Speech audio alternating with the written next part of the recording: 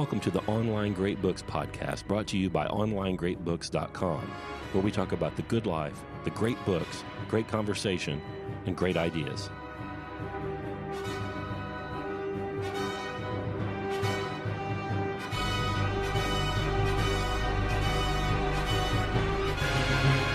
I'm Scott Hambrick, I'm Karl Schudt. and today on the Online Great Books podcast, we're going to be discussing a book that we've talked about many, many times. It's Walker Percy's The Moviegoer. I didn't love it. I wanted to. I, I thought after I read it, I thought, no, I should have I should have thrown Love in the Ruins at you. This one's a little too earnest. Is it? It tasted like Catcher in the Rye to me. It's like, who gives a shit about this guy's life other than him and his creator? but, but we got a problem here about what to read next week. I'd like to suggest it's a textbook. Metal Fabrication Technology for Agriculture by Larry Jeffus. Is there any way we could read that? Because I've got I've got to read hundred pages of that before class next week. That'd be a big help. I don't know how much is it. well, it's ten dollars and twelve cents on e- on eBay, but uh, I don't know that would be compelling. But that's on the top of my list right now. I would have no practical experience of metal fabrication. Yeah, talk about the metaphysics of metal fabrication. I, I don't know. I could talk about anything. I think. I think so too. Ah, which brings me to another point. We had a listener email, and I, a, a very kind, very nice email, and he said, uh, he said, I think that the Online Great Books podcast really is probably geared more for existing Online Great Books members, and he didn't think that him forwarding our show to friends of his or family or whatever would be that helpful in getting them to come to read the books, whether with us or by themselves or whatever. He said it's just, I'll paraphrase, too fancy or something. He said it was more like a college course than like our seminar is, and uh, or a college level discussion and, or something. I don't know. You read it, Karl. What did he say? That was about what he said. Yeah, I think he's I get it. kind of right. On the other hand, I'm just a barely reformed redneck. And I didn't have a background in this. This is true. barely reformed. And I, I hope that when we do this show, we demonstrate what normal rednecks and other people can do if they read enough and they're taught how to read and how to do what Adler calls a syntopical reading, which is where as you read, you're able to draw on a fund of knowledge you've gotten from other careful readings and take an old idea from an old book you read, Plato maybe, and then read Percy and then see the the aunt's scolding at the end of the book and then come up with a third new synthetic idea that you that was that came of your own mind as a result of all this information you've taken in. so unfortunately, they get to see me at least kind of later in this process instead of, you know, when I was 19. Sure. yeah. Okay. So my frustration on on that, I understand. Uh, I guess it's a highbrow show. Ev- ev- It's hard for me to imagine that it's a highbrow show, but I guess it could be. That's not exactly what he said, but you know. when I had students in the classroom, uh, it was very frustrating, and it got more so over the 20 years I did it. I think I had some of my best classes at the beginning, Mm-hmm. but as we went further and further, they would talk less and less. Yeah. And, you know, they would sit there and they want me to tell them what to think about the thing. And frankly, I didn't care what they thought about the thing. Right. They didn't get it. I don't care what thoughts they come out of after reading whatever it was we were reading. Right. I care that they have thoughts. And and the idea that uh, there are experts that you need to listen to, especially especially in literature.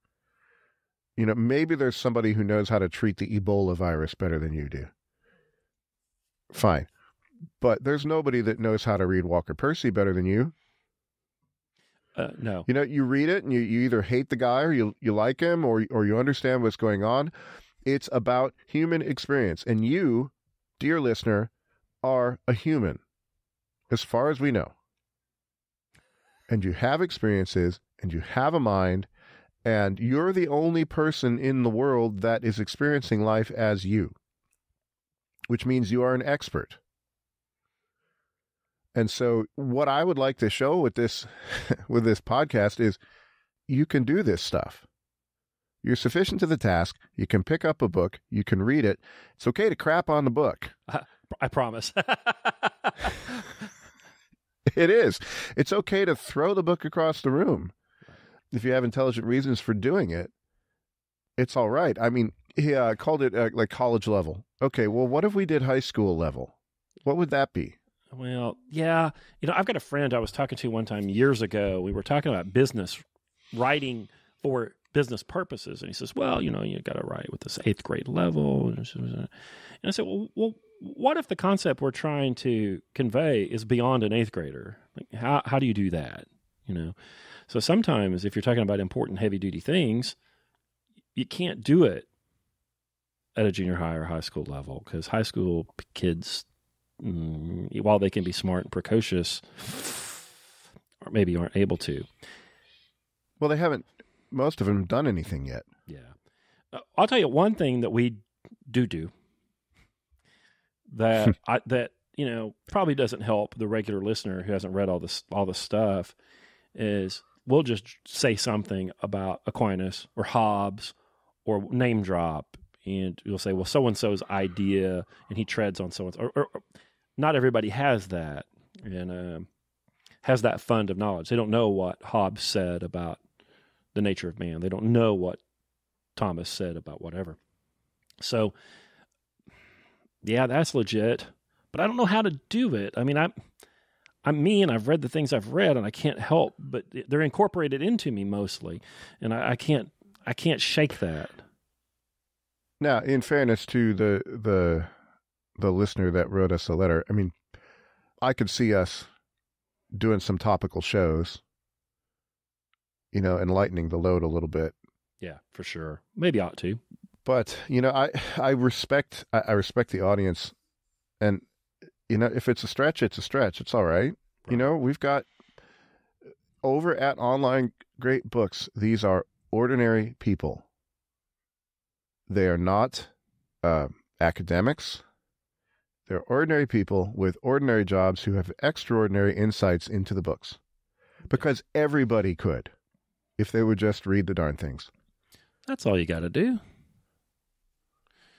Yeah. I love seminars. I love doing seminars. I've got one tonight um, on Seneca. Hmm. And and I worked my way through Seneca, and I'm going to go there and turn it on. And this is going to be, I think, it's, I think it might be seminar one or seminar seven, something like that.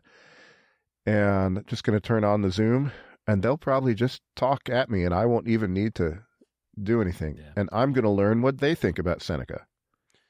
And it's going to be great. I'm tired of my own thoughts. How about somebody else's thoughts for a while? I'm tired of your thoughts too. yeah, a, a guy named Will, he's one of our members. He said, he wrote in Slack this morning, I forgot to add, I'm going to paraphrase him here. As I'm just going to kind of breeze through this. I forgot to add about a eureka moment uh, I had because it, it, was cool to see what Adler was talking about regarding the highest level of reading. So that's from Adler's book, How to Read a Book, where he talks about syntopical reading. He says, considering all the works we've read so far through the lens of the one we've just finished reading, I get something called a history high. And he moves on and he says, This is the first time I got that from connecting books before and seeing what the great conversation is. It was easy to connect Homer to Homer, but watching it reach forward and back to illuminate was so very cool. I mean, you've been doing it forever and uh, I've been doing it for a while, and so so you know we just kind of do it on the fly, and it seems I don't know, yeah we just we just seem so awesome. uh, but yeah, uh, uh, our, our, man John Pascarella, he says, and to think if you're seeing this so early in the program, imagine what connections you'll make years down the road. During a discussion last night, I made note in Prometheus Bound of a couple of things Hobbes incorporates into Leviathan based on that play. If you didn't know, Hobbes translated all of Thucydides. Hobbes and the moderns may break from the Greeks, but to do that, they had to know the Greeks first. The great books are truly wonderful. Yeah, so you know, Will, our friend Will there, he's in seminar 60. So he has been a member about, I don't know, I'm going to spitball five or six months and, and it's starting to happen. Yeah. And we just, we just kind of bring that process to the thing. And I don't know. I, if you do the work by and by, you will have that thing. It works every single time. If you do it in earnest, it, you know, you you find yourself doing that sort of heavier level of reading and uh, bringing these interesting insights that seem like they're college level, but they're not. They're just for people that do it at, that that do it and care. They're- Experts, They're, patooey. they're more than college level. Yeah, they are. They're more than college level. College is high school part two. We used to say that college was high school with ashtrays, but now you can't smoke there, so I don't know what it is anymore. Yeah, well, because everybody goes now, almost everybody goes. Yeah. Well, I don't. That's enough to say about that.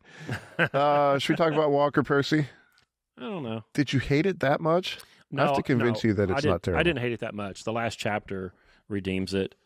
The epilogue. It redeems it, but uh, I didn't love it. I, I- you too. You listen. You too can do this, and you must. Today will pass, and tomorrow pass will pass, and next week, and next month, and next year, and the next decade will pass. And will you have done this?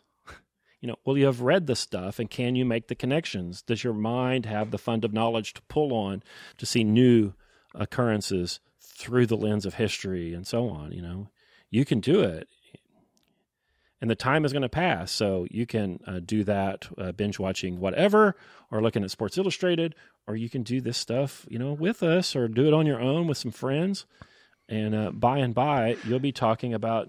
You'll, you'll, somebody will say something. You'll go, "Oh yeah, that's the will to power," you know. and you'll see things more clearly. You'll see what it is You, well, you'll see the will to power at your. Uh, when you go to the ocean. or uh, I was thinking that the parish council Oh at your church. You'll see the will to power. yeah, Yeah, I think it, it makes your inner life better. You know, you only got one life. Seneca's been hitting me hard, and he's like, he had this one quote last night, something about the shortness of life. Something like, it doesn't matter how long your life is, if you use it wrong, it's short. right. I like that. So you might as well use it right and read some stuff. Yeah. Uh, and join us. We'd sure be happy. And uh, if you also listen to our music podcast, Mm.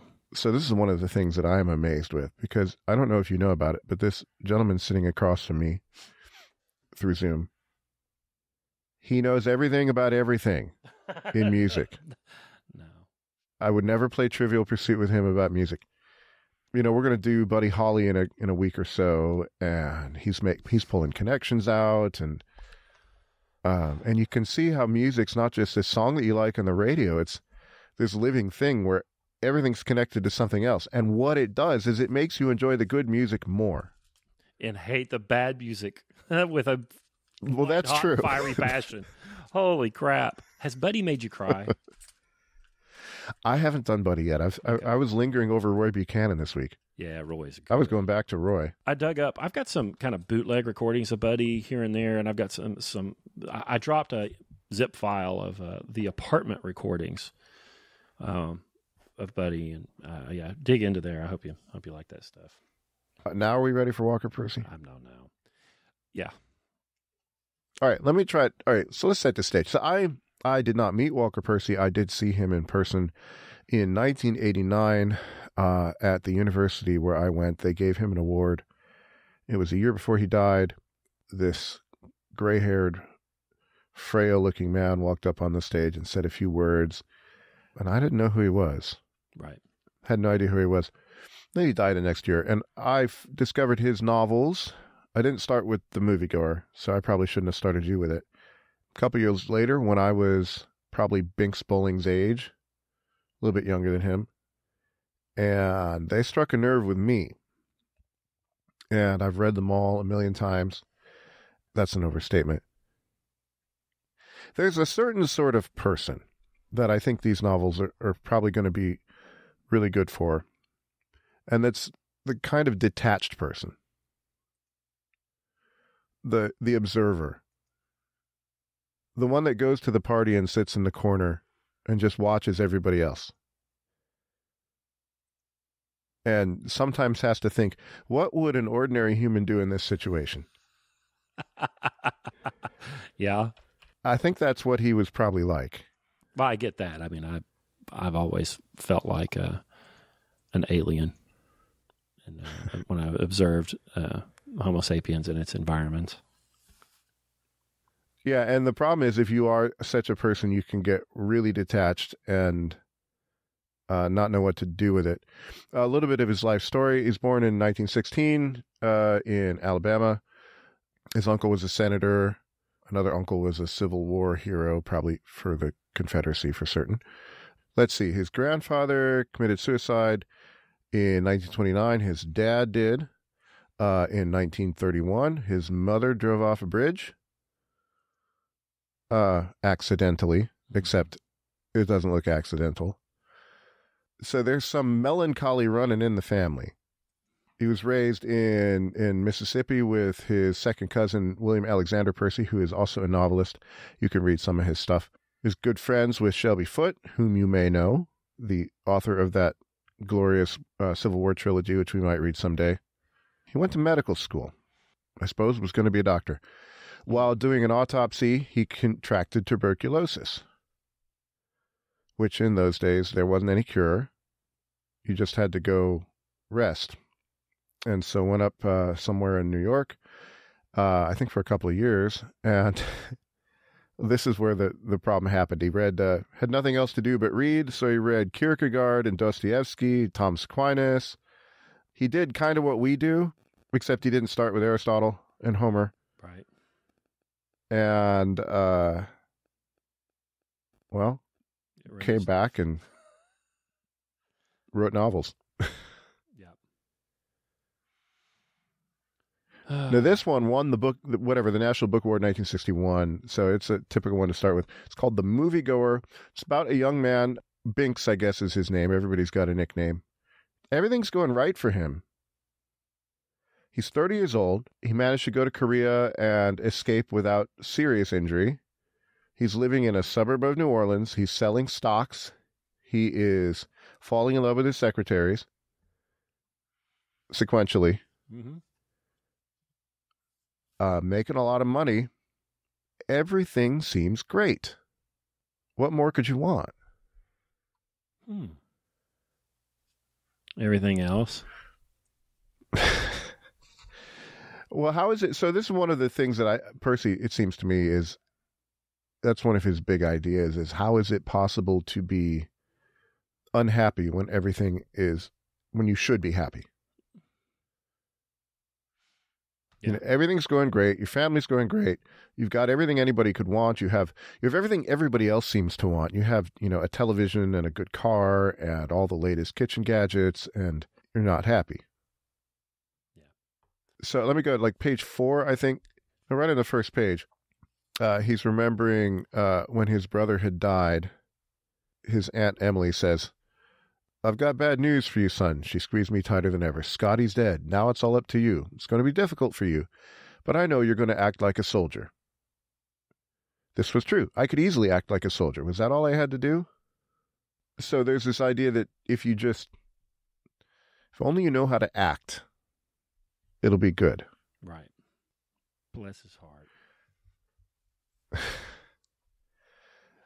I'm trying to drag you into this conversation. Well, I know. Well, I- see the problem that it's pointing at. You know, Uh huh. how do you do all the things that you're supposed to do and find fulfillment? And if anybody's ever listened to me for a minute or two, they know that I think that the things that you're supposed to do don't really work and don't help you find fulfillment. You know, if you do what everybody does, you get what everybody gets. And um, Mm-hmm. you know, I've seen the suicide rate, but you know, well, I, I, won't butt this yet.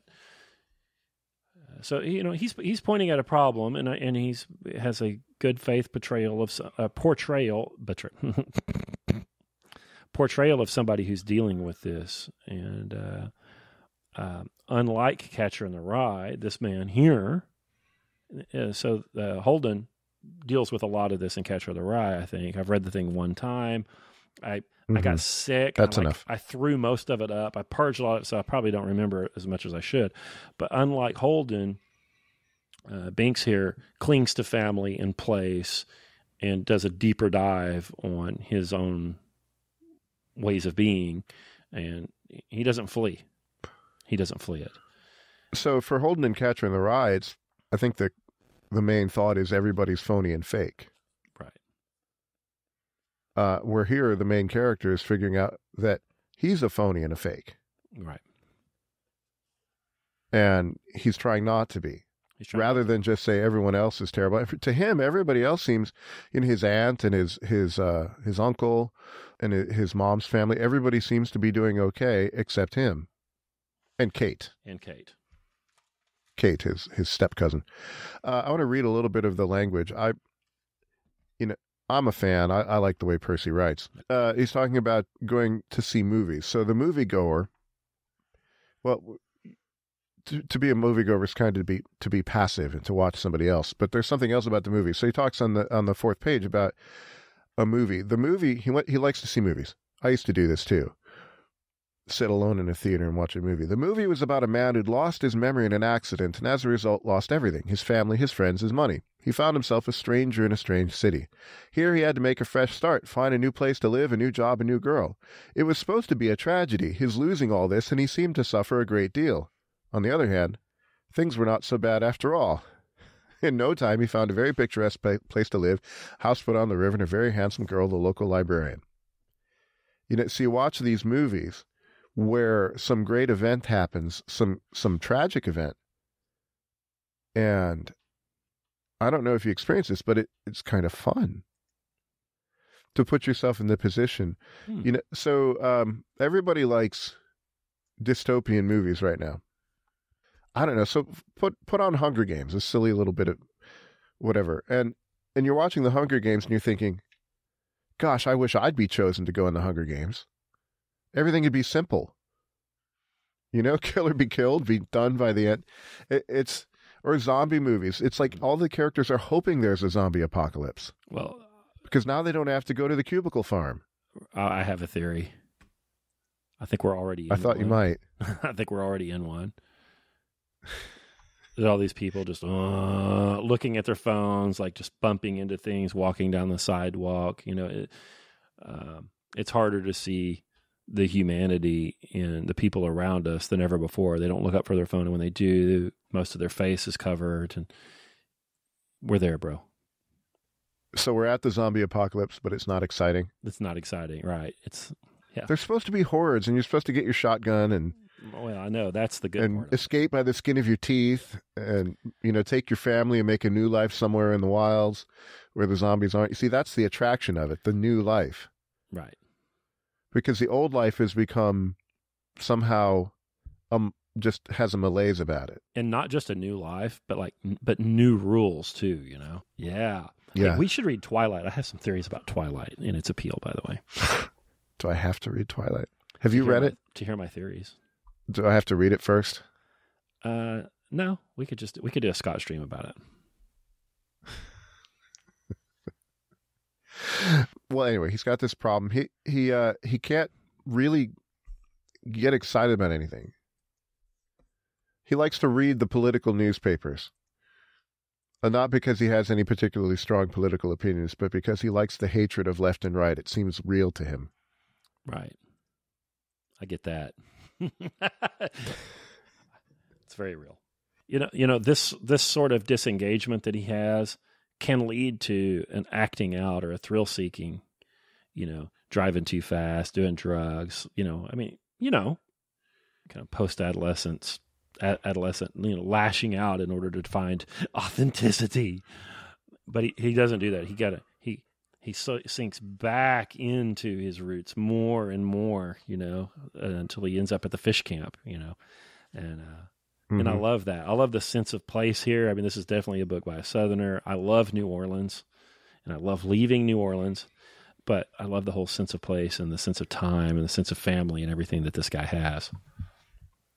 yeah I, I wonder if you could write a novel about where i live i think my place is a no place Mm-hmm. which is another idea he has that the places we live tend to be unreal and you're not quite sure if it's real so there's a scene in the book where william holden shows up in some some part of new orleans or some little town It's in the Garden District, I think.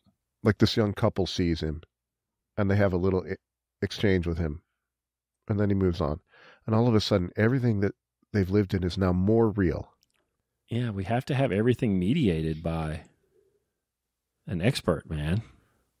Or at least somebody that everybody else notices. They're the only thing that I, my little town, which I'm not going to name, it's not that little, it's 50,000 people. I believe an American Idol contestant came mm. from our town, and she did pretty well, and she's Put you you guys can on her on map. YouTube. That's right. That's right. That's why, you know, when you go see the the comedian and he says, "Anybody here from Texas?" Right. and people will clap. How about Illinois? You know, and people will clap for their hometowns. they just like to hear it mentioned. Right. That's the genius of that Route 66 song. Yeah. Just names all those places and you say, "Oh, I've been there. I've driven through there. It's funny. I'm real." Okay, so this is a disaffected young man. He's he's a little different from most everybody else. Well, that's a big question. So this in, in my Kindle edition is around page 12. There was one day that the publisher put all the Percy novels on sale for like 2 bucks a piece and I just Mm. bought them all. I have them on paper too. The beginning quote in the beginning of the book is something from Kierkegaard saying the worst form of despair is to not even know you're in despair. And he says here on page 12, uh, to become aware of the possibility of the search is to be onto something. Not to be onto something is to be in dis- in in despair. And he talks about polls, at least in 1961. He says to himself, "What do you seek, God?" I hesitate to answer, since all other Americans have settled the matter to, for themselves. To give such an answer would amount to setting myself a goal which everyone else has reached, and therefore raising a question in which no one has the slightest interest. Who wants to be dead last among 180 million Americans? For, as everyone knows, the polls report that 98% of Americans believe in God, and the remaining 2% are atheists and agnostics, which leaves not a single percentage point for a, spe- for a seeker. In the next paragraph, he ends Am I in my search a 100 miles ahead of my fellow Americans or a 100 miles behind them? That is to say, have 98% of Americans already found what I seek, or are they so sunk in everydayness that not even the possibility of a search has occurred to them? Yes. Life, liberty, and the pursuit of happiness. Nobody examines it. They want to give the pat answer, and nobody even thinks about what the ans- what the real answer is. Yeah, you were telling me of a conversation you had with a friend. You know, why are you so angry? Why can't you just enjoy yourself? Right, man. Like we're just we're just dust in the wind, bro. Like why are you upset? Like we're just here for a little while and then we're gone, man. Why don't you why don't you just let it go, man? Well, that's despair. They won't. They won't know it is. I, I was telling you off the air. Driving around my town, there's all these signs saying uh, "curious about cannabis." No. Well, I'm not, but everybody else seems to be. Chatting with some people the other day, and they're of course amazed that I've never, I have never, never used it. Yeah. Why not? Well, to use it would be to give in to everydayness for me. It'd be like to make any notion of a search, any notion of transcendence just go away. You know, who cares? Smoke pot, play video games, watch Netflix. Yeah, I, I'm not interested in being altered. You know, uh, I enjoy bourbon very much, but I don't like getting drunk. And I rarely drink more than two ounces of bourbon in in in a, a four hour period or five day Mhm. period. I like the way it tastes, but I don't like being altered. I'm very interested in being completely me, which is hard. I don't always get there, but uh, yeah, I don't. I don't want to. Uh, I don't want to be altered. Ugh. He makes some comment in here about watching Cronkite in the evenings. Everything's okay, right? I said a couple weeks ago on this show, Karl, that optimism was cowardice. That upset some folks. I saw that. And I've got some emails too that I didn't send you because they're boring to me. But I, I, yeah, I got some of those emails, and and uh, one of them's from our friend Matt. I'm just going to out him here. Poor Matt.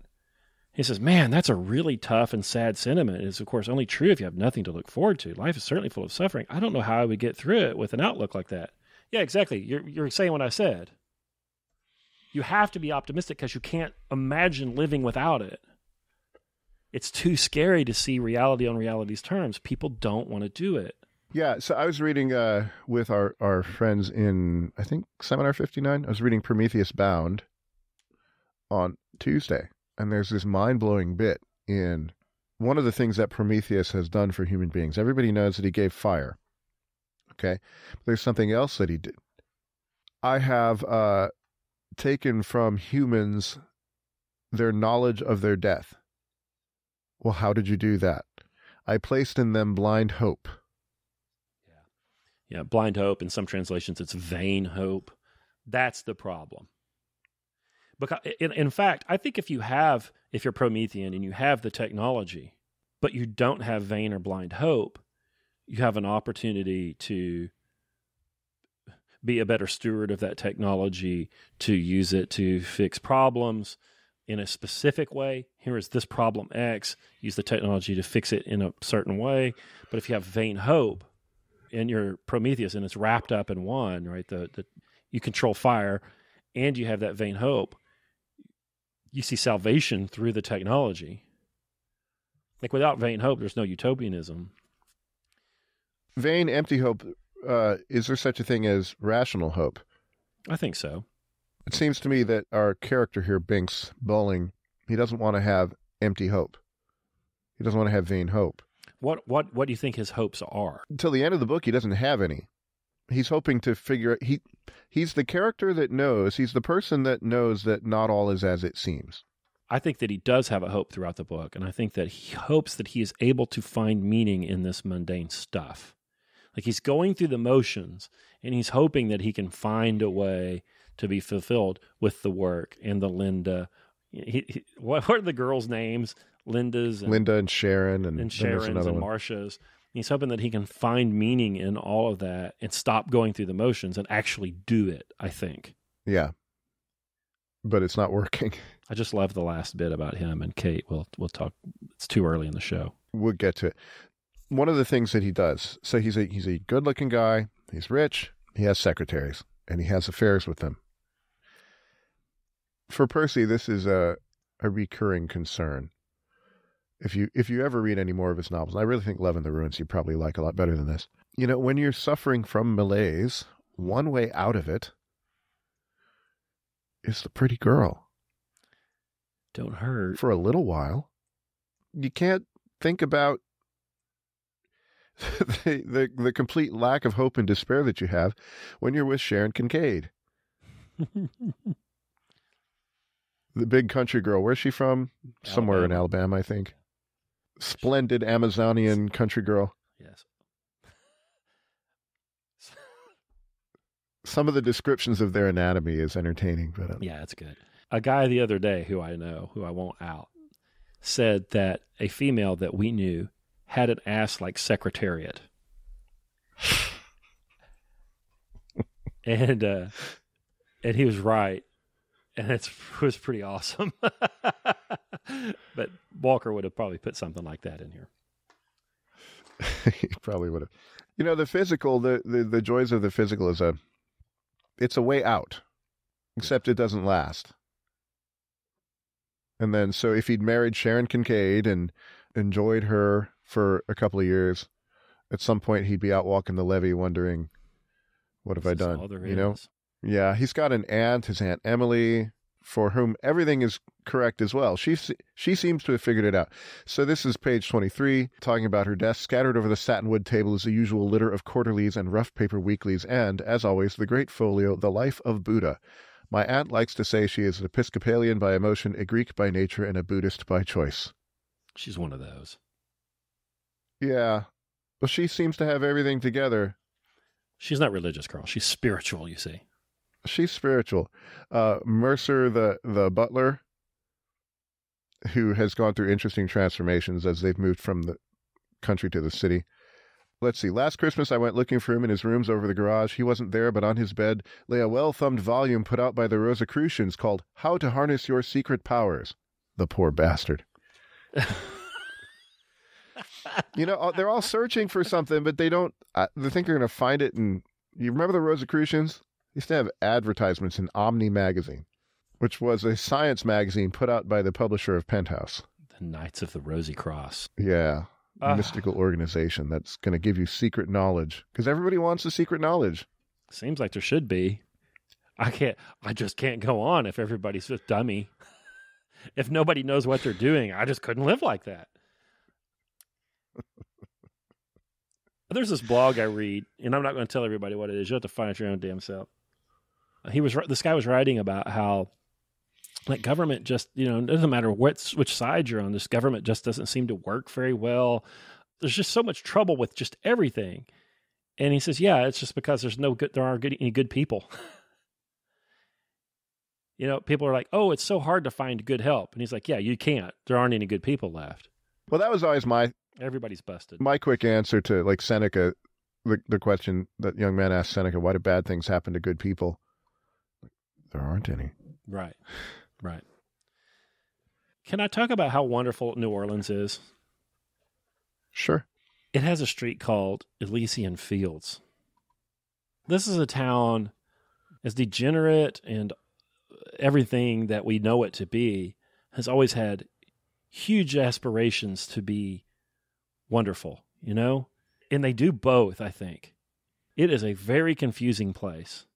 You know, his aunt here I think is part of that sort of New Orleans culture where she she's a member of a great books group. She lives in a beautiful house in the Garden District. She's trying to, you know, find out. She's trying to live the good life and trying to help uh, Binx live the good life and trying to help Kate. And uh, she's heavy-handed and ham-fisted, but the two of them are, you know, whipsaw between having a debaucherous, you know, Fat Tuesday, and just going to mass and reading the books and keeping their shit between the ditches.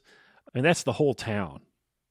You know, I love that about it, as opposed to you know my town, which is like work real hard.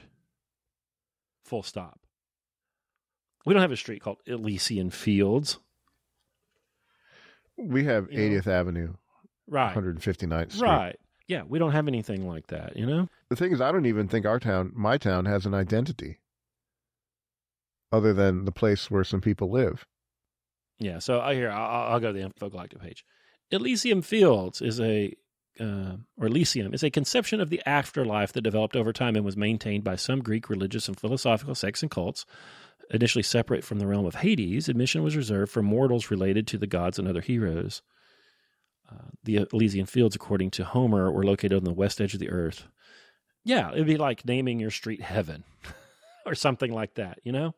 And it has the ancient Greek illusion. It's New Orleans, you know, a, a, a nod to a nod to culture that went before us, and then of course they, you know, they've made new culture there. It's just it's wonderful. Binx's problems wouldn't be the same if he was somewhere else. If he was in Chicago, if he was in L.A., Houston, New York City, it wouldn't be the, he, it wouldn't be the same. I don't think. I think he'd be worse off, probably. I think he would be too. So a book like this, I think, is topics like what are being dealt with in this book are best dealt with in the South.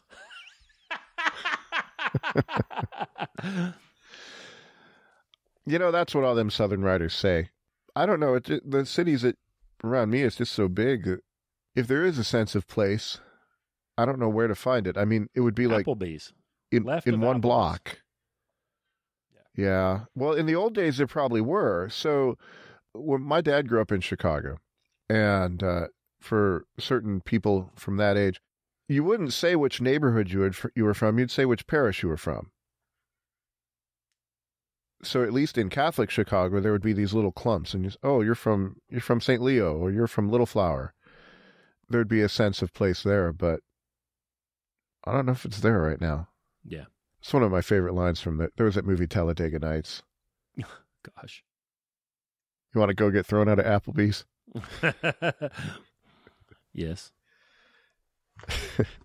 I want to get thrown out of Planet Fitness. All right. What about Kate? So we have this girl, Kate. Mm. Kate is a, I guess, a step cousin, Emily's husband's daughter. Yeah. What about her? She's a mess. I mean, maybe we all are. When Kate gets her hair waved and puts on an evening gown, she looks frumpy. The face in the picture is plain as pudding. Even though she was a queen of the Neptune, you know, she's a member of one of these um, Mardi Gras crews and has been anointed by New Orleans culture as somebody somebody to know. But when when she gets her hair waved and puts on her evening gown, there's that, and she goes off the rails, right? She's got everything going for her, and she can't stand it. Yeah, and she just when she goes off the rails, I can't remember what they say. They say like she she's gone to what did they say? She's gone to Claremore. I don't remember. They had a, a saying, a euphemism for when like she's Gone to Natchez. Yeah, yeah, that's what Is it that it? Gone to Natchez, which is just a euphemism for uh, a bender. But they don't really say what her bender is. Like, is she an IV drug user in 1960? Is she a drunk? But she goes to Natchez, and they're like, "Oh no, where's Kate?" They sent, you know, whenever it's all hands on deck to find out where she is and and uh, get her back home safe. And it, it's not clear to me if her going to Natchez is like she's in peril, or if she's just kind of off the reservation impugning the honor of the family and just needs to come home and act right. I, it's not clear to me. They don't say. He hints around at what that might be. But she's definitely struggling, whatever it is. You could probably diagnose Binx and Kate. Mm, please do. I love Well, I couldn't.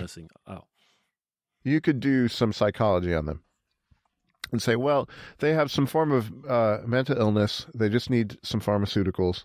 And in fact, Kate does have them and has an incident with a bunch of phenobarbital later in the book. You know, just get the right SSRIs. drugs and everything will be right. I don't think that's the point. I, I don't think that this is a novel about mental health and how you fix it. So, somewhere else, Walker Percy writes What if, he does a for instance, what if 51% of the population is depressed? Are they, in fact, depressed? Right. Sometimes circumstances are not enlivening. Yes. Right. If the level of pharmaco- pharmacology in the population becomes so that everybody's on it, then normal isn't normal. Right. Do you know what I mean? Oh boy, that's a problem. A metaphysical problem, isn't it? Like, what does normal mean? you know, is it normative? Okay, fifty-one percent of people are doing it, so now it's normal. Or, or do we have a, a higher standard, a transcendent standard of what the human condition is supposed to be like and has been, and that we will then compare behaviors to? Sure. And and if 51% of the people who are you know physically prosperous have enough food, have enough of what passes for entertainment and still they're not happy, then what does that say about what passes for entertainment and food and life?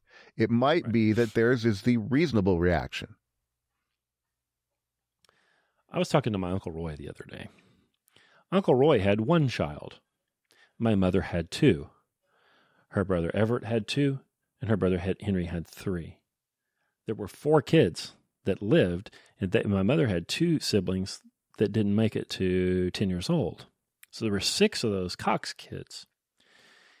The six Cox children, four of them lived, ended up having six, nine total kids. They have I don't even know how many cousins my mother has. So my mom's mother's siblings, dozens of them, dozens of children. If the material conditions of society are such that no one wants to reproduce, hmm. is it better now than it was when those people were having six, ten, four children all the time? And listen, I don't want to hear about birth control pills. Like people know how this stuff works. And they've known for a long time. I don't want to hear about that. Like people can people knew how that worked in 1931, 1915, 1945. People knew how that worked. My mother's family was very very very poor. Very poor. But they chose to have kids in the face of all of that. You know, so if you have material plenty, but you don't want kids, I don't know. Go figure it out for yourself. You know, is is it better now or was it better? Then? Like, figure it out. Like, what's normal? How's normal working in four- 1941? How's normal working in 2021? I don't know, man. Get your own scoreboard out and try to figure it out. Well, the answer would be something about population control. Oh no, no, no, no. Mm. I'm not buying that. Well, I'm not buying it either. I'm just saying what it would be. But you know, the young, a lot of the young people I know, they don't have any interest in kids. Right. So Humans do not breed well in captivity. We are like pandas.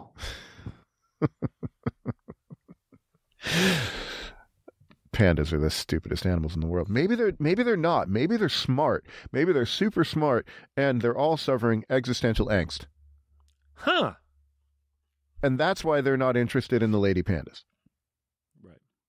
Because they have no hope. They know they're just being kept in cages to promote uh, China's interests. Maybe. and uh, to have a family is an act of hope. yeah. Yeah. Vain hope. And if you've got nothing much to hope for but, you know, medical cannabis and the latest, what was the game that came out that bombed? oh, my God. Cyberpunk 2077, whatever it was. If that's it, you know, what? To go through the effort that it takes to to have children seems just no, you, you wouldn't do it. You have to hope in something. Either I, I've been talking about Seneca a bunch. Either like the preservation of Rome. You have to have something that you hope for. Mhm. Binx's Catholic mom who went off and had six kids with her second husband. I don't think this novel is so far from everybody's experience. Yeah. It's not as funny as Love in the Ruins. I should have started you with that. But I think there's a whole bunch of Binx Bollingses walking around. They just might not know it. Yeah, I get it. I get it. I love his love for all the people around him. You know, he has the handicapped half brother, Lenny, Lonnie, Larry, Lonnie. Lonnie, and he brings um, Sharon, I believe, to the fish camp, and they see him. And the kid's handicapped; he's in a wheelchair, and Yeah. I thought that was funny. So he's got Sharon all to himself, takes her down to the Gulf. They go swimming. He's just enraptured by her form and figure. And he's going to go to their secret fishing camp, then have a weekend and do things that he probably shouldn't be doing. And his whole family's there. mom's there. Yeah. Oops. And invites her in, and they have. He gets C blocked over there, but but he does a bellyache about it once. You know, he's like, there they are, and he, they just join in the fish fry, and Sharon jumps in there with mom, and and he gets to see this this half brother of his, and uh, later on they leave, and Sharon's in tears, and she's like, oh, your brother. He he doesn't feel sorry for Lonnie at all. Did you catch that? Yeah. He just loves the guy and wants good for him, and that's it. Well, there's something. What is there about Lonnie? He doesn't have to do uh, three score and ten over it. Right. Well, Lonnie's not going to live too long. He's not healthy. Lonnie knows exactly what Binx is talking about when he talks about the search. He had the same problem, probably. He's come to his understanding of it. For him, it's it's this big Catholic family. They all go to church on Sunday. Lonnie's the one that's real serious about it. The rest of them don't talk about it, which I found interesting. Genuinely religious people don't really want to talk about it the one that wants to talk about it be a little suspicious. Like we have a guy in our church, good friend of mine. His family has quit coming for whatever reason. So he's the only one that shows up. He comes, we stand in our church, and he comes and he stands, you know, in the left corner near us, all by himself. Doesn't talk about it, but for him it's important and he does it. You know, it's not it's not for show or for anything. It's just fine. The rest of the family's not going to come. I'm going to go do it. Yep. I think he's probably more faithful than I am. Generally, religious people aren't necessarily going to talk about it that much. Well, anyway, Lonnie and Binx can talk about it. Lonnie, for him, his religion has become his source of hope. And he actually believes it, Mm-hmm. or seems to.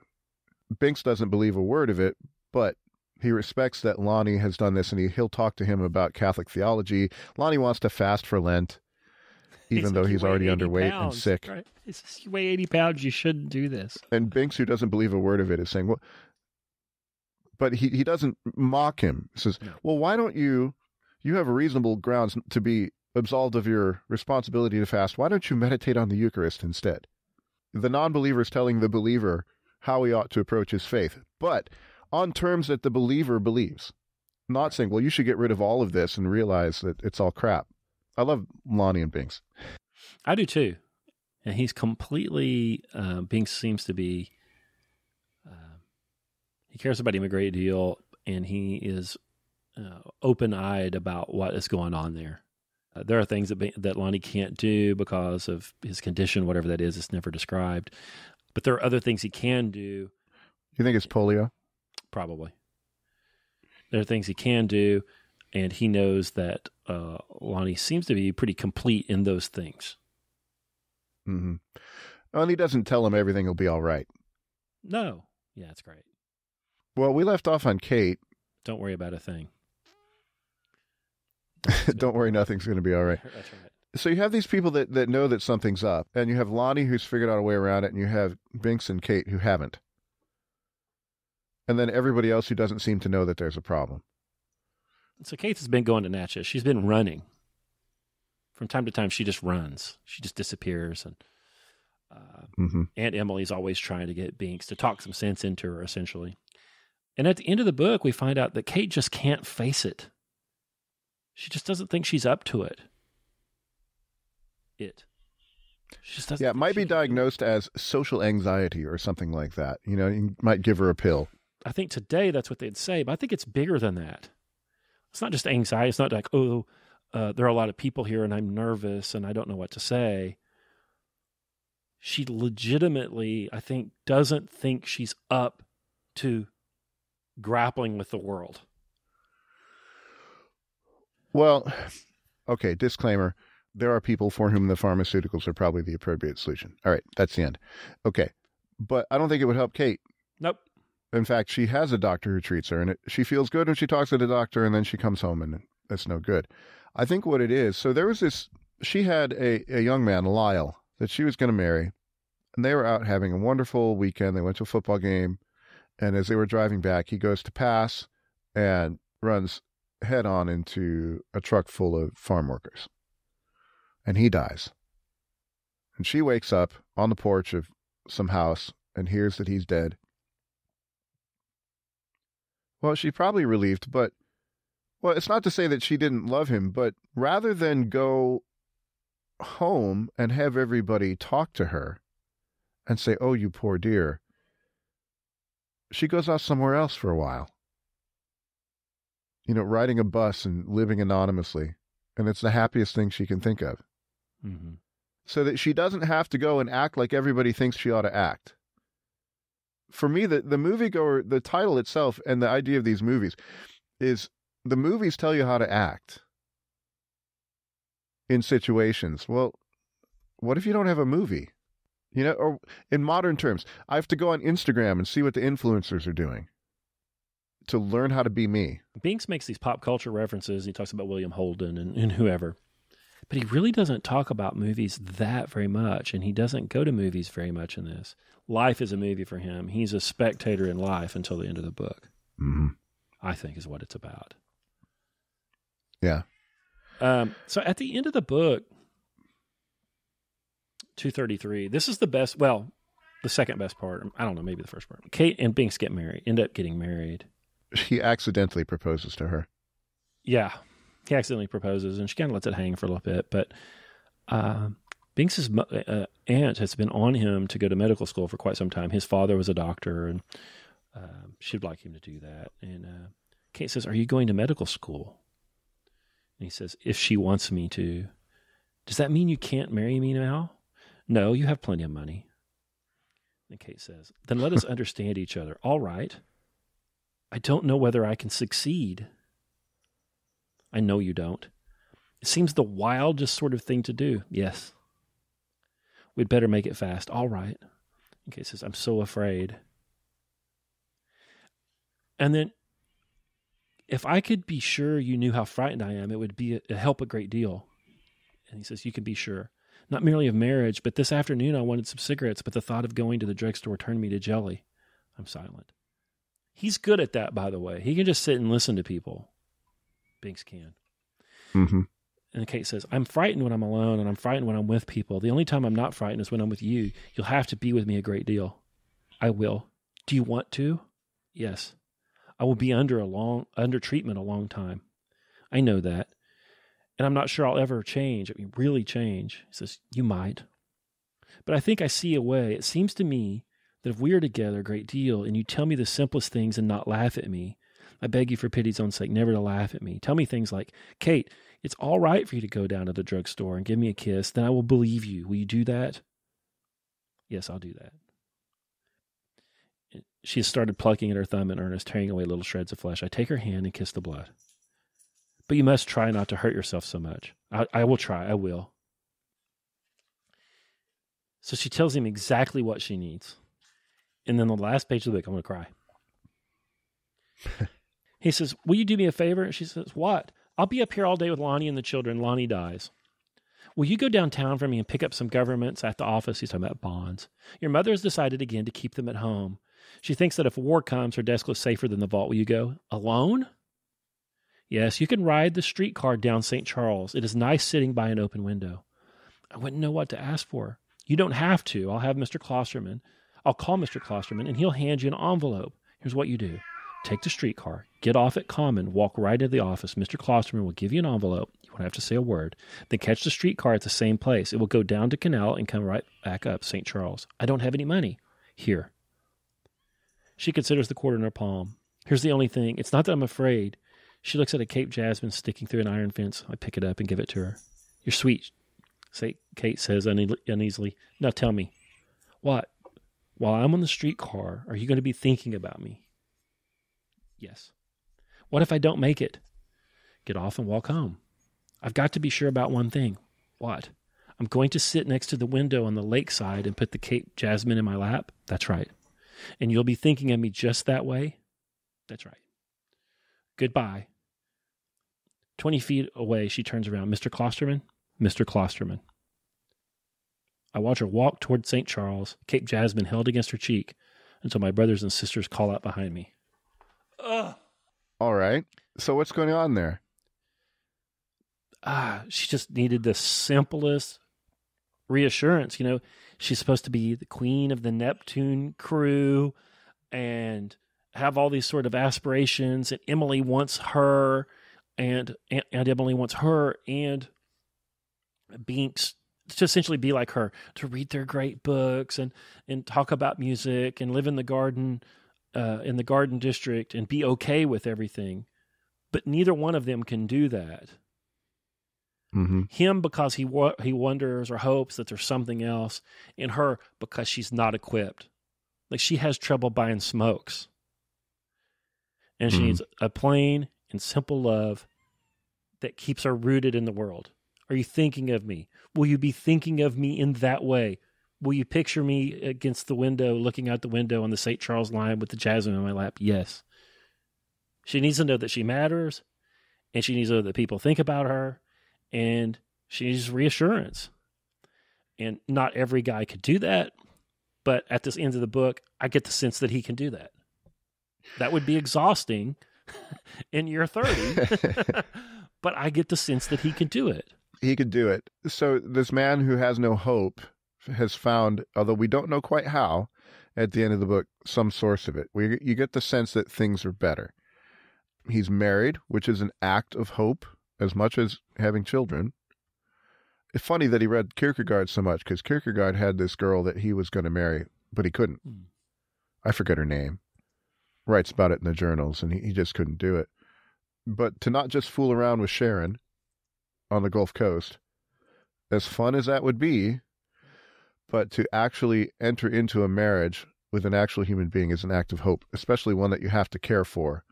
Probably there's some, he's probably come to terms with religion to some degree, hmm although he's not going to talk about it. See, that's part of the sign that he doesn't talk about it. He says on 237, I'm a member of my mother's family after all, and so naturally shy away from the subject of religion. A peculiar word, this in the first place, religion. It's something to be suspicious of. He's not going to talk about that. There's that, and he's found a way to do it. I think she's his way to do it, to have somebody to care for that's not him. And I don't know if this is too literary theory.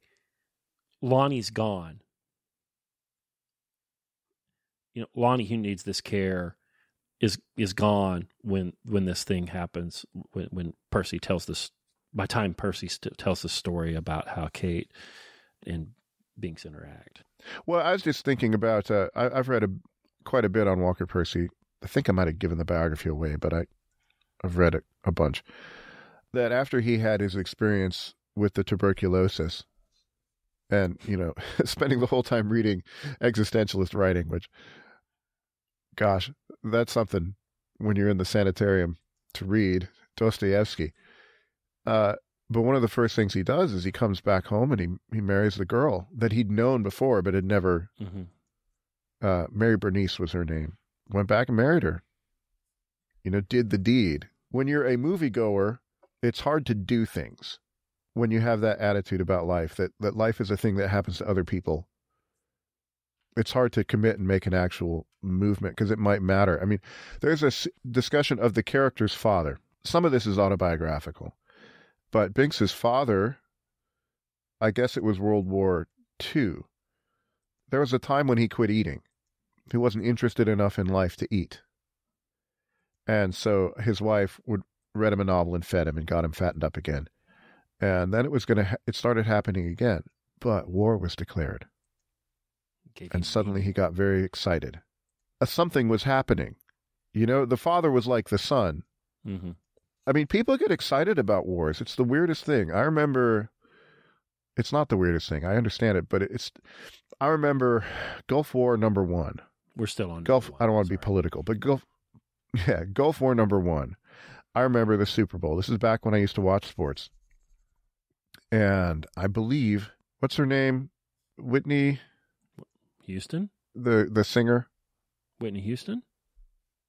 Yeah, Whitney Houston. She sang the Star Spangled. She actually lip synced it, but she sang the Star Spangled Banner, and it was, I think Quincy Jones arranged it or something. It was a fantastic Right. arrangement, and she sang it, and everybody was cheering. This is 1991. Everyone was cheering, and the Jets went over, and Mm. shouts of USA, and they're all so happy that we were invading Kuwait, or that we were liberating Kuwait, Mm-hmm. because it was something that was happening. You know, you would think, why is everybody so happy about this? But they were. Well, you know, having read this sort of stuff, I would say, well, everyone's in a malaise and they don't know it, and then a world event happens and they they can finally say, "Oh, I'm on a team. You know, I'm part of something." Right. I'm I'm very excited. This we were talking about the dystopian movies before. Everybody wants a zombie apocalypse. They secretly want one because at least something would be happening that would be better than cubicle job and Cronkite in the evening or whoever's the modern Cronkite. That's kind of what self harm is about. You know, at least I'm feeling something. Yeah, Yeah. I like chili. She's got a little of that, little self harm. I like the habaneros because at least I can feel. I want to talk about Kate more. Yeah. What the hell happened to her? Like early in the book, she's kind of a kind of a flapper. Like it's 1960, but you know, she's smoking her cigarettes, she's drinking, she's up all night. You know, she drives a pretty modest car, 51 Plymouth, but she's quick to laugh, running around, has this date with that guy and dates with this guy, and everybody's interested in her. And then at the end, it's all all that's gone, and she's like, "Can you just tell me you'll remember me while I'm going to pick up a package?" Mm-hmm. What happened That's to probably her? all she ever. Yeah, I think you're right. I think that's all she ever wanted. But what jarred her so that she dropped all the artifice was it just him? Was it his willingness to listen and to believe her and never laugh? Well, they went on the trip to Chicago. Yeah. The impromptu trip trip to Chicago. And he takes her with him. And that's when the proposal happens. Is that right? I think so. What does the trip mean for her? I, I don't have a real answer for you, but yeah, I think it's just what she always wanted. Uh, all of this other stuff. If you don't know how to be, I hate these words, but you know, the authentic self. If you don't know how to actually live, you're going to do all sorts of things that everyone else does, and you might do more and more extreme things to try to get some sense of being real. If that makes any sense. Yeah. There's a dangerous waters to tread in, but people who. Uh, all of you people out there who have all the tattoos and piercings, okay, that's fine. It's great. All right. When I was young, nobody had them. Mhm. Okay. Uh, everybody I knew with a tattoo, you'd say, well, Why'd you get a tattoo? I was drunk. I was in the merchant marine. I was drunk. Whatever. Okay. And then somewhere around 1990, 19, maybe a little earlier, 2000? I don't know, Karl. started to be more. Well, Oklahoma would be a little slower Okay. than environs of Chicago. It's like when we go up to Wisconsin, all of their hairstyles are 15 years late. I remember going to Broken Bow, Oklahoma in the early 80s, and guys had ducktail haircuts. Yeah. Yeah. It's funny if you ride the train back in the day. Nobody's riding the train anymore, but the train from goes from Chicago to Joliet, and so if you take it all the way to Joliet, you can see the differences in style of the people. Yeah. And so in Chicago, the people that get on at LaSalle Street Station, they're they're very they're very stylish for Chicago, not New York style, but Chicago style. And you go through um, like Blue Island, and you, you turn south and go s- southwest, and you get out to Joliet, and the hair gets bigger and bigger. I met a guy the other day, neighbor guy. He said, "Come over to my place. I'll show you around." So, jumped in the truck. We went up there, and he said, "And this is my wife, so and so, and whatever." Had a nice time. Super nice guy. Went home, and Charity said, "Well, what was that like?" I said, "Well, they've got this, and you know, he's a beekeeper. You know, just, met his wife, and he she Charity said, "What's she like?" I said, "She's Owasso fancy." Charity said, "Oh yeah, I get it."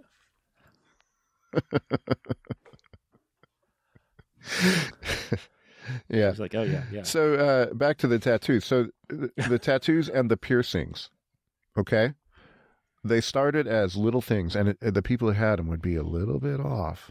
You know, the scary kid in my high school had some piercings. He was a guy that would cut himself with a razor blade, and I knew that he dealt drugs too. You know, scary. Well, now it's not scary anymore. So people would go to do the scary. And now you've got so many people with so many tattoos and piercings. They're chasing something. And if I were to read it like Percy would, you know, at least I feel real. You're trying to get, you're, you're doing something permanent. I understand it. You know, it, by doing a body modification, a permanent body modification, you're at least affecting reality in some way. But it won't last, which is why you have to get 12 more tattoos. I talked to a stripper one time, Karl. She had a lot of tattoos. I said, Hey, what's up with all the tattoos? She's like, Well, you know, I like this one here of the unicorn. I said, No, cut the shit. Like, what what is going on? Like you've got you don't have like two tattoos. Like, what's going on? And uh she kept telling me all these stupid stories. Like, when I look at this, it reminds me of my grandma. I was like, No, no, no, like and like I remember my grandma too because I have pictures of her and letters that she wrote me and all that, but I don't have a picture. I don't have any tattoos. And We talked about it a little more, and she finally said, "Well, I'm never naked when I have these." Hmm. I think the fact that they're people are actually altering their bodies gives them a sense of control. Yep. and they're never naked. And I also think that for some people, it probably I, I, people are going to hate me for this. and I don't care because my old lady loves me. I think there's some self harm in it too. I think it's akin to cutting.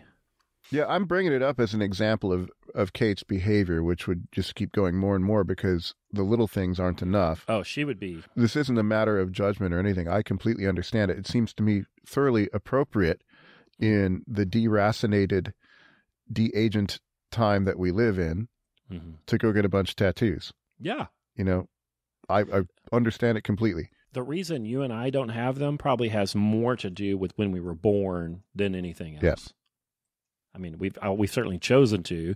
Uh, this is about free will, isn't it? Well, but the but the fact there's that another reason. no probably has more to do with it. What? well, uh, you've seen me in the pool. I don't have a lot of bare canvas. Well, I know, but you know, like our buddy Reynolds, like he's got all these tattoos, and he shaves his body like a lady. you guys forward that forward that to Matt for me, by the way, Matt Reynolds. I don't think he would deny it. No, he wouldn't. He no, he wouldn't. He's he's like, oh, Hambrick, you got to get one of these things here. And I'm like, what? He pulls this like curved stick out of the bathroom, and it's got a razor on the end of it. He's like, he's a giant guy. He's like six six feet tall and 300 pounds. He's got a 700 pound deadlift. So uh, you know he can't touch. Is it the back blade? back. Right, yeah, he's got, got this uh, razor on a big, big long stick. He's like, "Oh, I can shave the middle of my back with this." I'm like, "I don't need to shave the middle of my back, Matt." It's like, oh yeah, dude, you look like hell, and I'm like, that's fine. I don't care. like. What are you talking about? So, what are you talking about? Yeah, so they go on this trip to Chicago, and his uh, his business partner says, "Hey, I need you to go to go to uh, go on this trip. You take the ten thirty plane Tuesday morning," says Uncle Jules in his gruff way of conferring favors. Where to? Where to? Why, goddamn Chicago! And then Binx says, Chicago, misery, misery, son of a bitch of all miseries. Not in a thousand years could I explain it to Uncle Jules, but it's no small.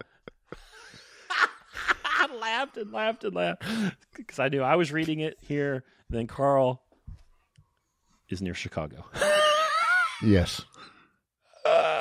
It's nothing for him to close his eyes in New Orleans, wake up in San Francisco, and think the same thoughts on Telegraph Hill that he thought on Carondelet Street.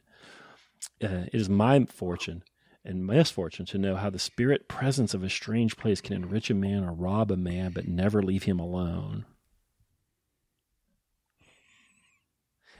If a Mhm. man travels lightly to a hundred strange cities and cares nothing for the risk he takes, he may find himself no one and nowhere.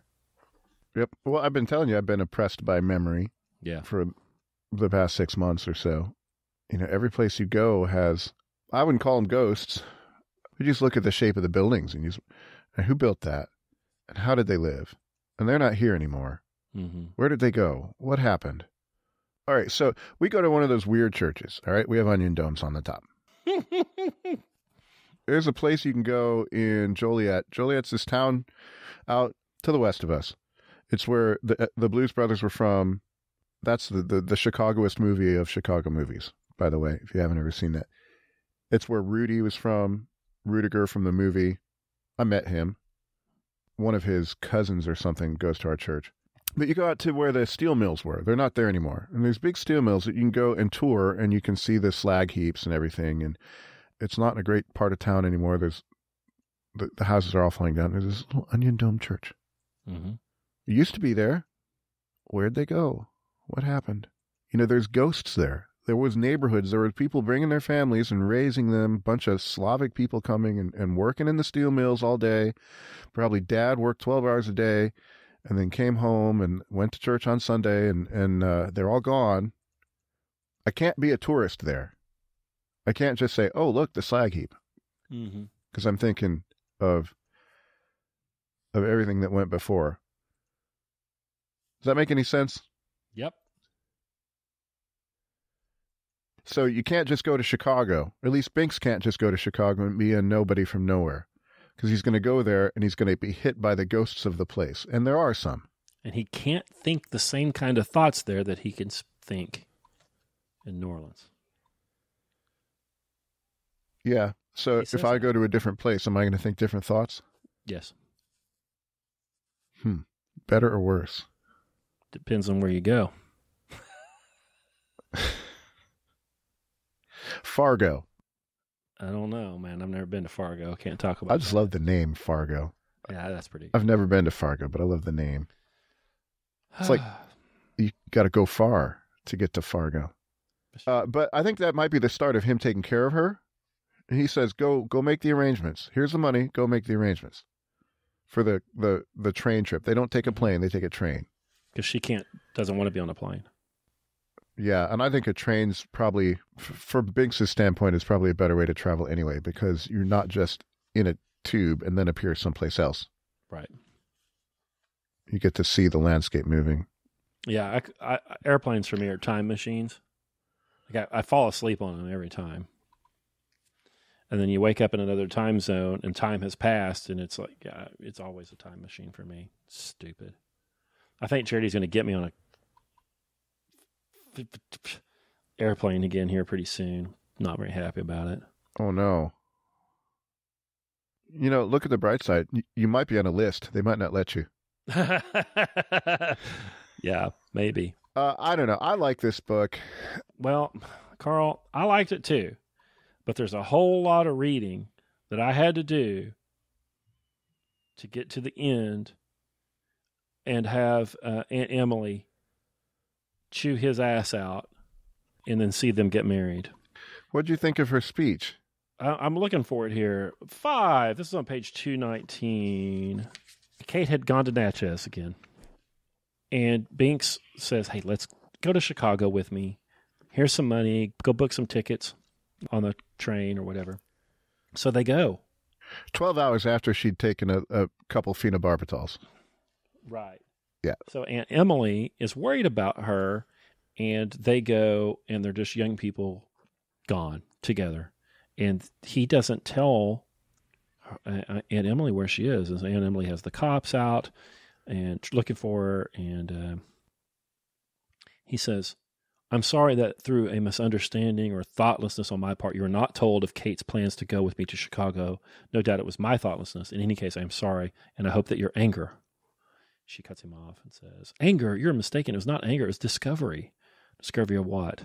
Discovery that someone in whom you had placed great hopes was suddenly not there. It is like leaning on what seems to be a good stalwart shoulder and feeling it go all mushy and queer. We both gazed down at the letter opener, the soft iron sword she has withdrawn from the grasp of the helmeted figure on the inkstand. I'm sorry for that. The fact you are a stranger to me is perhaps my fault. It was stupid of me to not believe it earlier. For now I do believe that you're not capable of caring for anyone, Kate, Jules, or myself, no more than that Negro man walking down the street. Less so, in fact, since I have a hunch that he and I would discover some slight tradition in common. She seems to notice for the first time that the tip of the blade is bent. I honestly don't believe it occurred to you to let us know that you and Kate were leaving, even though you knew how desperately sick she was. I truly do not think it would ever occur to you that you were abusing a sacred trust in carrying that poor child off on a fantastic trip like that, or that you were betraying the great trust and affection she has for you. Well, he doesn't give any answers. Well, he shouldn't. Emily's right. This is all about Emily. Emily thought that he was a certain way, that Kate's a poor child, you know, and that he took her off on a fantastic trip. He took her on a, he's like, tag along on this business trip I have to make anyway. It wasn't like they mm-hmm.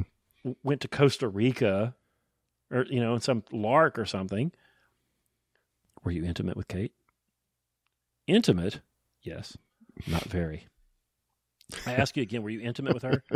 I suppose so, though intimate is not quite the word. You suppose so? Intimate is not quite the word. I, I wonder what is the word? You, you, see, she says with a sort of humor. There is another of my hidden assumptions. All these years I've been assuming that between us words mean roughly the same thing. That among certain people, gentlefolk I don't mind calling them, there exists a certain set of meanings held in common. That a certain manner and a gra- certain grace come as naturally as breathing, at the great moments of life, success, failure, marriage, death, our kind of folks have always possessed a native instinct for behavior, natural piety or grace, I don't mind calling it. Whatever else we did or failed to do, we always had that. I'll make you a little confession. I am not ashamed to use the word class. And she goes on for the next page. I, I don't want to read the whole thing, but it goes deeper where she talks about how our moral fiber is rotten and how that we can't have that demeanor and that comportment without the virtue and the moral fiber. She says, Our national character stinks to high heaven, but we are kinder than ever. That's true. That's true. I mean, it's very true. All of this is true. See, I think she's a stoic. Okay. She's got a sense of nobility. She's yeah. going to do her duty. Uh, the world might fall down around her, but Aunt Emily's self understanding is she's one of the noble ones she's going to hold it together as much as she can, and she wanted Binx to be one of them. And he's not. There's a little detail. Uh, you mentioned the the letter opener. Yeah. He had bent it when he was a kid. I cannot tear my eyes from the sword. Years ago, I bent the tip trying to open a drawer. My aunt looks through. Does she suspect? Uh, the whole time she's giving this speech, and he's worried about that she's going to yell at him for bending the letter opener. She says, Nor is there anything new about thievery, lewdness, lying, adultery. What is new is that in our time, liars and thieves and whores and adulterers wish also to be congratulated and are congratulated by the great public if their confession is sufficiently psychological or strikes sufficiently heartfelt and authentic notes of sincerity. Oh, we're sincere. I do not deny it. I don't know anyone nowadays who is not sincere. Dee Dee Lovell is the most sincere person I know. Every time she crawls in bed with somebody else, she does so with the utmost sincerity.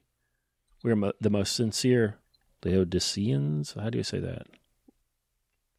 Whoever got flushed down the sink of history. No, my young friend, I am not ashamed to use the word class. They say out there we think we're better. You're damn right we're better, and don't think they don't know it. Yeah, but he doesn't give any answer to all of this. Do you condone your behavior with Kate? I don't suppose so. He didn't do anything with her, by the way. No. The uh, spirit was willing, but the flesh was weak. What, she fall asleep or something? I can't remember. I I don't think he was able to do whatever he, they might have signed up for. What do you love? What do you live by? I am silent. Tell me where I've failed you. You haven't. So Kate, the aunt, just reams him out, and then he leaves. Kate hails me at the corner. She leans into my MG, taking her blouse as brisk as a stewardess. You're stupid, stupid, stupid, she says with a malevolent look. What? I heard it all, you poor, stupid bastard. Because he could have cleaned all of it up if he'd have just said that they got engaged. It was probably secretly Aunt Emily's fondest dream and hope that they would be. And he just lets her just froth at the mouth and point at him and shake her finger and rail. And all he could have said was, Hey, listen, we're getting married next November. And she would have just deflated like a balloon. but he can listen, you know, he can listen and let people do whatever they're going to do. hmm I don't know. It's worth reading. It won a book award. Uh, he got better. Later books are better. I think. It is not my I favorite. love Love in the Ruins. Yeah. Yeah. I Love in the Ruins is my no, Lancelot's probably my favorite. Shelby Foote wrote a few novels. I think he's got one, Love in a Dry Season, which I've read. Um, for sure, Southern Gothic, you know. Um, interesting. Yeah, sh- Love in a Dry Season. That's fun. interesting that Percy has, you know, Love in the Ruins. So I'll have to re- I'll have to read that and compare and contrast. Yeah. Well, there's a big split in the country uh, between right and left, and uh, You don't say. there's a schismatic American church that has a feast of property rights. This makes me laugh. Property Rights Sunday Right. in Love in the Ruins. The doctor in that story, he invents an ontological lapsometer, which is a medical device where you can tell the ontological status of the people you use it on. Yeah, I could go for this book. Uh, I don't want to say any more because I'll spoil it for you. Hopefully, you'll read it someday. Yeah, we'll read it. We'll read it on here. Episode 675.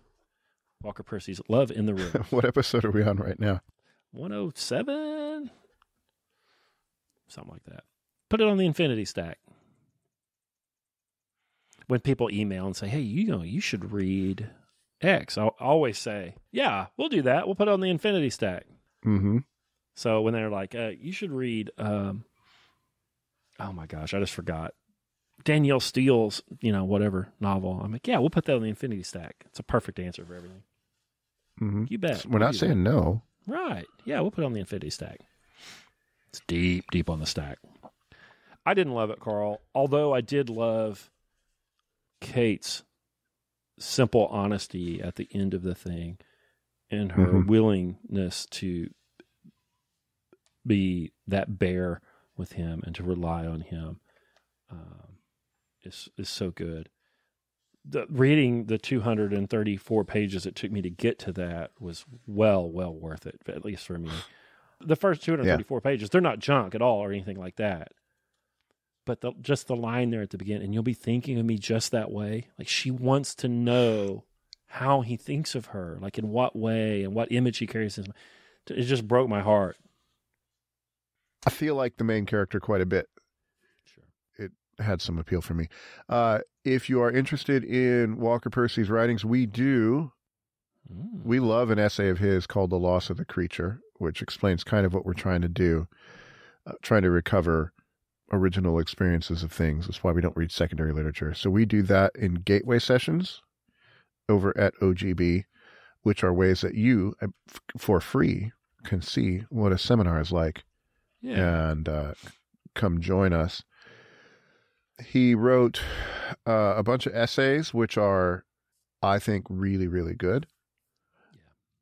He's got a little thing about drinking bourbon, which you can find on the internet. Walker Percy Bourbon, you'll find it. That one's good. I drink early times in honor of him because that's the one that he uses in the uh, in the essay. He does some calculation about dollars per per unit of enjoyment, and early times hits the sweet spot. Rhetoric is too expensive. I'll tell you what hits the sweet spot nowadays. uh, Evan Williams bottled in bond. Yeah, it's pretty good. No age statement on it or anything, but dollar for flavor. Tip top, man. Yeah. Well, that's why I have gone to the the white liquors, Oh yeah. vodka and gin, because I enjoy it and they're cheap, and I get more more pleasure per dollar. He has a, a book called Lost in the Cosmos, the last self help book, which I love. Uh, which, if you've been reading with us, you'll recognize a whole bunch of a canticle for Leibowitz in that one. Speaking of syntopical reading, just, you know, light, fun reading about living at the end of time and uh, how to deal with it. Yeah. So, So, He, reading. he's a friend of mine. experts. What are we going to do next week? Well, my friend Karl, he said, let's read a little Leo Strauss. So I think we're going to read. Are we going to read one essay or are we going to read three? Okay. Mm, might as well do three. They're short. Okay, we're going to read uh, Leo Strauss's three essays Exoteric Teaching, number two, On a Forgotten Kind of Writing, number three, Persecution and the Art of Writing. Yeah, we're going to read. Yeah. read those three little goodies. That'll be that'll be fun. I, I think I'm looking forward to that. And I'll short. also be reading about um, metal fabrication for agriculture by Jeffus. Yeah, and uh, the new Organon by Francis Bacon. Set for your home group. Yeah, not happy with that guy. Francis Bacon. Elizabethan England uh, really screwed us all up very badly. I almost want to dig into that. It's the beginning of modernity. Yeah. Maybe we should do that one sometime. The new Organon? Mm-hmm. Oh, hey, let's do it here in a couple weeks. I'm reading this damn thing anyway. That'd be So- easy for you, hard for me. A couple hundred pages. Oh, I don't care about that. Ah, so, uh, uh, Music and Ideas podcast that should come out just preview just before this. This comes out on Thursdays. I think the Tuesday before this show uh, will be uh, Karl, Trent, and myself uh, discussing a little a little lost treasure uh, blues guitarist. I don't know to say blues guitarist isn't fair. Really good guitarist Roy Buchanan. Um, I went to breakfast with a friend of mine this morning. Uh, he works at Online Great Books. In fact, he's a seminar host and he's in my home group. He's a great guy. He said, "How do you pick the topics for your podcast?" And I said, "Well, the book podcast is just pretty much the things that Karl and I want to read because that's the only way we can get them in. And the music and ideas one, we're trying to hit, you know, the big the big stuff, right? What's blues? The beginning of country music with Jimmie Rodgers. Let's listen to Bach. Let's talk about temperament and tuning. Like, I mean, that's very basic, right? We need to know about tuning before Mhm. we understand anything about music. And he says, "Yeah, I haven't really seen anything that's interesting to me." And I was like, "Well, you're you're screwing up because the show's excellent." And he's like, "Well, I've just been listening really to just folk music lately." And I was like, "Well, go listen to the Jimmie Rodgers episode and go listen to the Bill Monroe episode, you dummy." You know, go listen to the blues Mhm. episode. They're all they're all related to folk music because what we typically call folk music is really an invention of the late 40s and the early 50s in the United States. You know, but, but uh, you might find somebody like Pete Seeger that digs up an old song from Appalachia in the 1880s, but it's really a fairly new thing. And and we talk about some of the the the musical movements that lead up to it. He's like, oh, I guess I will listen to those. So anyway, uh, you might go listen to them too. I'm proud of the show. I think we Yep. do a good job. Trent mixes it. It Yep. sounds great. I think we say interesting things. I land a fart joke every now and then. It's great. Yep, I agree. Tell your friends. Uh, I made a challenge. You haven't responded to it yet. Uh, Yeah. Somebody wanted us to do Weird Al, and I said, if you got our weekly downloads to some number that Scott will provide, we'll do Weird Al Yankovic. Well, the thing about the Music and Ideas show is the numbers are so bad. I don't even want to just. I don't even want to say, you know, what they. Well, you could give a needs to be. percentage increase. Oh, listen, they need to double. Like they're low enough that doubling is not a big ask. All right, so that's the number. Yeah. If if they double, Weird Al Yankovic. And I won't lie about it. If they double, I will say they have doubled, and we'll do one on one Weird Al, which we've talked about anyway. That wouldn't be horrible, would it? Do a Would be Al show. fantastic. Yeah, I wouldn't be that. Ah, so yeah, go listen to the Roy Buchanan one, and then uh, after that we have Buddy Holly, and I'm almost certain to cry. Hmm. Anything else, Karl? No, go read some Walker Percy. You might like it. Yeah, do what Karl says. Talk to you next week.